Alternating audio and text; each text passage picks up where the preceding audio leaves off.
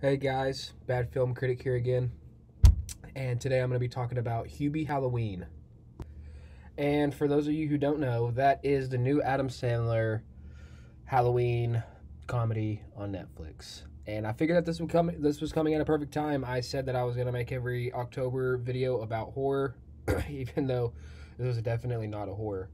But it still has a it's got Halloween in the name. So I had to watch it and I know that I drilled into comedy and I drilled into Adam Sandler a couple videos ago, and I even mentioned this movie coming out. I com- I knew it was coming out, but I completely forgot about it, as I do every Adam Sandler movie, unless it's Uncut Gems. Anyways, I don't even know where to begin with this movie. It was directed by Steven Brill, and he's made other shitty movies from the Madison Happy Madison Productions, like Little Nicky and just a bunch Drillbit Taylor, like a bunch of stupid funny movies that I that I despise. And um, I don't know. I, I don't even know where to start with this movie. I definitely didn't like it. However, I definitely didn't hate it. Okay, I, I not definitely. I didn't hate it though. I guess I'll come to that conclusion. I didn't hate it. Wasn't a good movie though. I won't be watching it again. I didn't like it, but I went in with so much disdain and so much hatred, and I was expecting to just just hate the movie. So I really don't know where to start with this movie because it's kind of just a clusterfuck. But um, this movie showcases Hubie Dubois, who's played by Adam Sandler, and he's living in a town of Salem, Massachusetts, a small town, on Halloween night.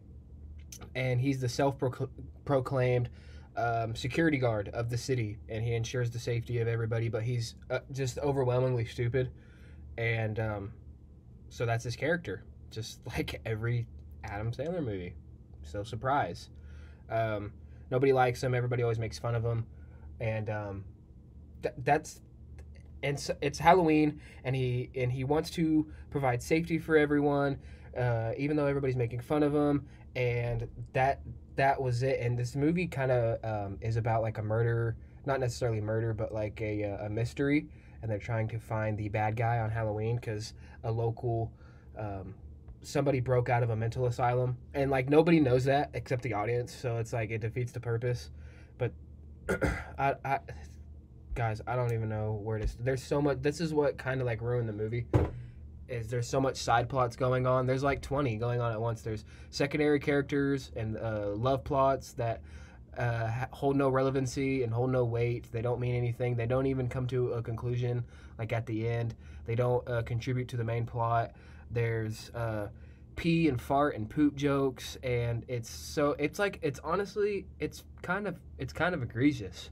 He's like overwhelmingly stupid. Like not even in the first five minutes of the film there was like a scene where he was riding his bike and he was drinking soup and you know he said adam sandler said something stupid and cgi vomit just all over like a, a just projectile vomit right on the floor like not even in the first five minutes of the film.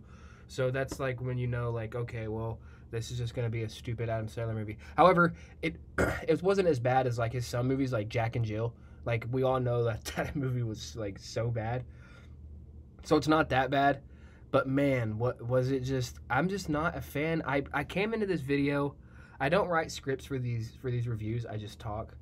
And I came into here not wanting to drill into them cuz it but man, he makes it so hard cuz he he's a talented actor and he he can when he wants to be, but it's just like he doesn't want to be and he wants to be this just kind of like bumbling bozo who just doesn't know how to act and just says dumb fart and pee jokes. That's literally the movie. Like I'm not even kidding. Like number the number one rule of comedy. All right, this rule trumps everything else in a comedy, and that is to make you laugh. And it, it barely did that. There's so many side plots. Just just to summarize the thing, it's on Halloween night, and Hubie wants to protect every citizen, and he's getting made fun of, and so it makes it hard. And there's like kind of like a murderer on the loose, and 20 other side plots that you have to keep on, and you don't know which one is necessarily the main plot, which one to follow.